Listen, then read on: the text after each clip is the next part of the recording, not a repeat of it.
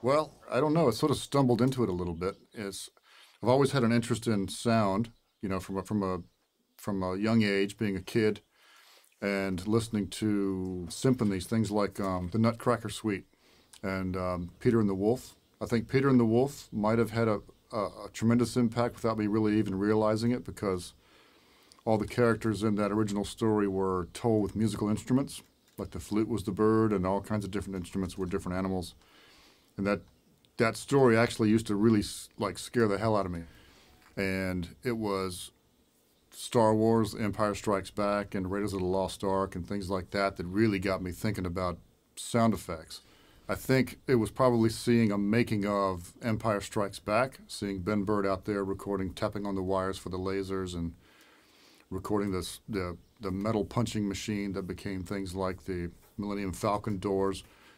I just thought that was the coolest thing ever that you could go out and record sound and, and make things for films. But that was when I was about 14 years old. And I think I just sort of put it out of my mind, just thinking it was cool, but I really didn't think that it was something I could actually do. And I went to, off to normal college and got an accounting minor and a business degree. And I got out and I was um, associate manager of a, of a finance company for a couple of years. And I was not very good at my job. So I learned in about two and a half years what I never ever wanted to do again. You know, I used to buy like I don't know, I forget what the name of the magazine was, Home Studio Recording or something like that. And I kept seeing these ads for recording schools in there. So I wound up calling Full Sail and I went down there and toured the school and before I even flew home, you know, made up my mind I was going to go there when I went there, I actually did know I wanted to do sound effects for film. I was lucky enough to at least know that that's what I wanted to do. I got my first gig as an intern at EFX, and they were kind of strapped for cash. They were sort of in a financial bind, really. And I, you know, it was sort of a mutually beneficial arrangement because they needed somebody cheap and I needed experience. And it's the experience in actually editing and cutting is the thing that I think you can never theorize quite successfully. You can't learn it just by thinking about it and thinking you're going to just step into a chair and, and do it. You've got to practice, you've got to sit down, um, hear the sounds in your head, and then try to make those sounds because, you know, particularly with, with things like making things big, you know, you may go out and record a car door close and you want it to be bigger than it is. You, you think it's going to sound huge, but when you put it in the film or in any other show, it just doesn't sound as big as you thought it was. And I was so gung ho the first few years, particularly, that I would stay all night, whether I was getting paid for it or not, and just practice. I remember some nights I used to stay and work on a single explosion all night long, trying to make it sound the way I wanted to. I would bring in explosions from movies I liked and load them into the synclavier and put them up against picture and, and you know, and then try to mimic what was done. Um, go in and try to figure out the little elements they use, little bits and pieces of this and that. So I was sort of copycatting sounds I liked from movies I liked, like Terminator 2 or from Indiana Jones, things like that. So getting to stay all night and practice those things was, was uh, utmost importance. So that's where I really got started. The first film I worked on was called, oh God, what was the name of it?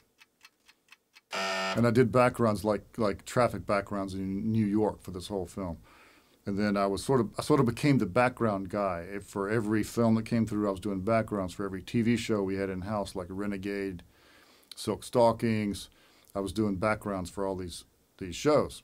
So eventually, I think the first film I sound designed myself was Mortal Kombat, which was a lot of fun, and it was a it was a really short schedule and it was a really small crew, but I learned a lot doing that show. Uh, Harry Cohen told me literally on the first Mortal Kombat film. He said, these whooshes you're making for these camera by, these camera pans, he said, make as many of them as you can.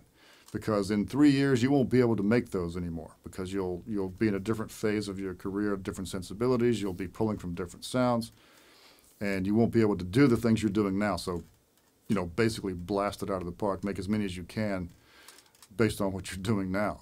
So I did that. So I have a whole palette of whooshes and things from that era that I still use occasionally now. My favorite film for sound is still, after all these years, Empire Strikes Back. Um, it's it, to me, it's sort of a benchmark in. I guess Star Wars probably would have been the biggest level, but Empire Strikes Back to me uh, was was my favorite one still, in that there was never there had never been a leap from here to here in in sound effects the way there was in those films. It's just got this real world sound. It's gritty. It's dirty. Um, Millennium Falcon, R2D2, the lasers. I mean, you name it. Anything that's in that film, the Tie Fighters, were just absolutely groundbreaking. I think the sound designer term has been through lots of iterations since it was conceived. I think Ben Burtt was the first one coined as a sound designer, and and in the beginning, it, it was someone who saw film all the way through from, you know, pre-production all the way through the final mix. Someone who basically is sort of a supervisor in a lot of ways, but also creates sounds. And over the years, it's sort of been, you know, I don't know, I, I don't want to necessarily say it's been watered down, but it's certainly uh, a different you know, you can be a sound designer now and not see something through from the very beginning because it's very rare for a person these days to be on from pre-production all the way through production and through the, the edit and into the final mix. So a sound designer these days a lot of times is someone who comes up with interesting things that you can't just go record. Uh, that's not entirely true. Sometimes, sometimes the sound design of a film is based on reality-based sounds, and it's and it's all a matter of choices. What you choose to suit the emotion of the scene uh, can can be real sounds that are just flat out recorded and just carefully chosen to picture. But I think, in as far as my involvement with the credit, it's been to make sounds that you can't go record. You know, like say, you know, say a cave troll or a or a dragon or you know anything like that uh, that you can't go out in the real world and record. You've got to see the image, come up with a sound for this that hopefully is a signature sound. People will remember and it, and it suits the film and is a, more of a creative role. It's really hard to sort of get the point across because the Synclavier was such a great performance tool. You really got your hands on it, and you could. You, we basically had to condense files, you know, from into, into smaller chunks, sort of like premixing in a way. And now you, you put in Pro Tools, you put every little individual element, you know, 30 elements for one thing. On the Synclavier, you did that on your own right away. And you could perform things, you could ride the pitch, you know, you were, it, really felt like you had your hands on it, which you don't anymore. You're sort of clicking and pointing and clicking and, and that's, you know, there's there's a certain great thing about that as well. But the Synclavier was, was a, a really great tool that I wish we had something like it now. Well, I've been fortunate in my career to be involved with not only films but video games. A lot of what I do for video games is cinematic type things, so it's sort of a film style. It's linear cutscene that you know we go treat it this, almost the same as we would a film. It's cut in surround, it's mixed in surround. Uh, that format is is very similar, and and in a lot of ways, uh, there isn't a, is very little difference. Um, uh, there's sounds I, I make for for my work in games that sometimes I use for films and vice versa. They in, in my particular experience they complement each other quite well. I mean, I don't know exactly what you'd call my style. It's it's, it's I mean the, the types of films I guess I've worked on tend to be uh, you know, sort of in the fantasy realm. I mean, it's certainly the ones that the, the bigger credits I've had are in, in a in a in a fantasy realm. I don't use synthesizers a lot. Uh, honest, honestly, when I do use them, it's sort of a hunt and peck and make sure I record everything I'm doing because I'll never be able to get back to it again. I don't really know that much about synthesizers, so it's more of a hit and miss sort of thing. Sometimes it's a happy accident. You know that happens in real in, in real in real world sound design too. Sometimes what I'll do is just pull a bunch of things out onto a bunch of tracks, hit play, and just see what happens. And sometimes there's a really cool thing that happens. You know that I wouldn't have never have done on my own.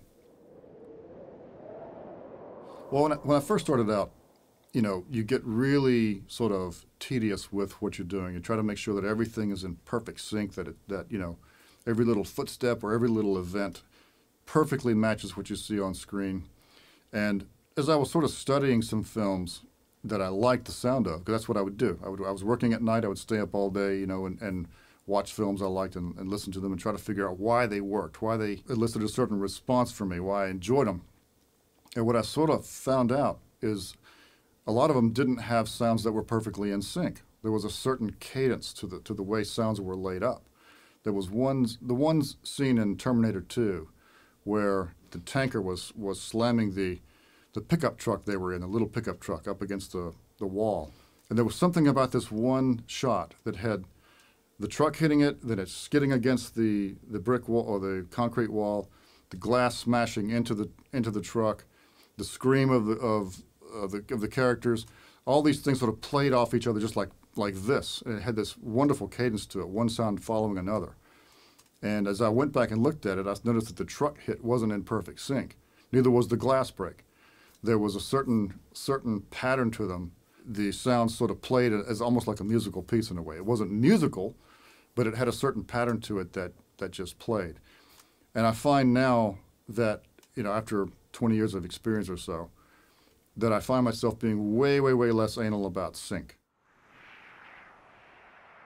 Well, if you look back historically, I mean, like some of my favorite films, Empire Strikes Back, sound wise, Empire, Empire Strikes Back, Raiders of the Lost Ark, Jurassic Park, uh, a lot of these were cut on mag uh, film, which has a certain warm, fat sound to it that has been tough to replicate for us. I mean, in, in the old days, too, there was way fewer tracks to cut with. Now we have Pro Tools and we have almost infinite tracks to cut with. We, we probably deliver way more to the mix than we ever should.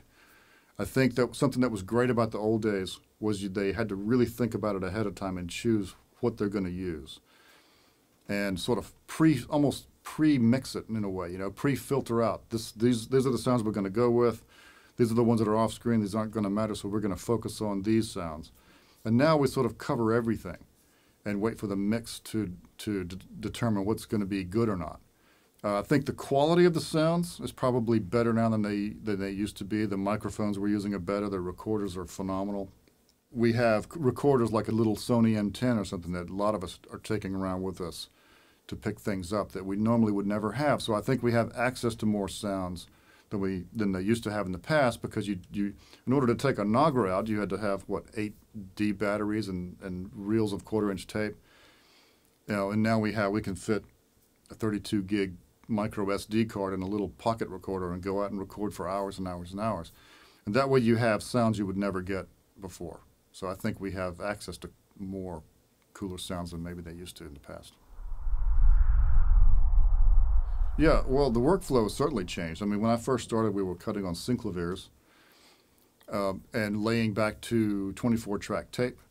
So we only had a certain amount of tracks that we could even deliver to a mix. We, I think, in, a, in the effects department, sometimes we would deliver the backgrounds and the effects on a 24 track tape. So the backgrounds may have six or eight tracks, and the effects would have the rest. And now we have, you know, like on some of the recent films I've worked on, we've had premixes A through P, and each each each premix has 32 channels available to it. So the workflow has definitely changed. You know, some of them we've forgotten about.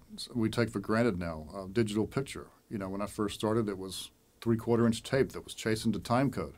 So every time I wanted to check if a punch was in sync, I had to roll the quarter inch tape back. I mean, the three quarter inch video back, hit play, wait for the thing to lock up and see. Now you got Pro Tools, you got you know digital video. You can you can nudge a, an event to to be in sync with the picture, and it's you can almost guarantee it's going to be in sync. In Pro Tools now, we're we can basically mix in in the box, and it's almost the same as it is through a, through a console. I know some people will disagree with that philosophy. The plugins, the reverbs are great. Um, the panning's great. The, the, the subwoofer plugins are all fantastic. Um, there's almost nothing you can't do inside the box. The, the thing that I would say the the thing that may be missing is the size of the rooms we get to work in because uh, the how a pan travels in a room this size is different than one than how it travels in a, in a theater-sized room. Locked now just means the current version, and it's usually out of date by the time the picture even lands in, in our in our department. Sometimes we get picture changes three or four times a day. it's the thing that I keep trying to tell students and and uh, lay people about is the picture that you're looking at is not one that we worked on, you know, because we didn't get to see it until you see it. You know, the visual effects we're working with are are uh, rudimentary, sometimes not even animated. They're just placeholders. Sometimes they're just cards, you know, black background with text that tells us what's going to go there, and we have to guess. And uh, we did. We just had a, a show we just did where, after we've even mixed it, there was a 91, 91 edit change. So we had to go back and rethink everything. It wasn't just a wasn't just a couple of trims here and there. It was like a reorganization of the whole reel. So I had to go reconstruct it from what I had and try to make it work and make it flow. A lot of people I know are using change notes for uh, the picture changes, which means that you have uh, pretty much have to to conform your reels every time. You go to from version 10 to 11. You got to go from 10 to 11 because the picture department doesn't only gives you a change note from one version to the next. The way we've been working for the past 15 years or more is to use EDLs instead of change notes. That way, when the picture department gives us their picture, they also give us an EDL based on what that version of the picture reflects. So what often happens for me is I'll skip version numbers entirely. I'll go from, I may work on version 10 and I may not touch it again until version 17 or maybe even later. Now, if I was doing change notes, I'd have to have a, I'd have to contact the picture department and say, you know, I need a change note from version 10 to version 18 or, you know, whatever version I went to. When I've got the EDLs that come with each version, I can use Conformalizer to import those two, D, two EDLs and go straight from whatever version I was at to whatever version I want to work at now and skip all of those versions in between, which to me is, is a great time saver. And I honestly can't imagine trying to work and keep every version of every reel up for every time a picture change comes through. When these EDLs come in, we usually have assistants that go through them and compare the picture version um, with, with, with each update, and they can there's a there's a feature in Conformalizer that can compare the picture, you know, an overlay of one picture version to the other, and show the differences, so the assistants can see right away what the what the changes are, if any. You can see that maybe, uh, say, a fireball, for instance, you know, that used to exist in this frame, you can just see that it, it maybe happens three frames later now. The assistant can tell you exactly what that change is. You don't have to wonder where it's moved to sometimes the, the, the, note will come back that there's a change and we'll go, okay, well, that's there is a change. Maybe the visual effects updated a little bit, but there's nothing that affects sound. So we usually get emails coming through like going, okay, the, the changes are here, here, and here, and here. These are the ones that affect sound and what department. Um, so it's, it's very fluid in that way. Well, you know, working in Pro Tools, uh, there's so many tools available that make basically mixing possible in the box. Um, Pro Tools has had a, a surround panner for a number of years, but it's been sort of difficult to use, clunky to use. Um, you know, buying the joysticks was expensive, and and it's just tough to implement. They had that funny sort of, you know, um, left to right knob for the front, left to right left to right knob for the back, and it was just that you couldn't using knobs. You could never make a pan without, you know, three or four passes trying to get the thing done. So uh, Spanner came along. Uh, Spanner's got a lot of great features in it, not only like Audio Suite, being able to fold things down and do things like that, work on a, you know, up to a 7-1 uh, track, and being able to pan independently each leg, but uh, a couple of years ago, I, I switched from using the Pro Tools panner to using Spanner on each track um, because uh, it had this great iPad app where I could I could use my fingers to to control you know whether it's a mono or stereo file. I could pan it around like a joystick, and you know I already had the iPad, so the the, the, the app was free and it integrated with Spanner perfectly. And I also found that with the artist mix, the the controls were laid out really well in Spanner to in one pass be able to to do a pan that I think is more as accurate or more accurate than they can do on the stage. I mean, it's got this overlay feature which which lays right on top of the picture, so I can see exactly where the channels are, whether it's left the left to right position on the on the picture and also the front to back position.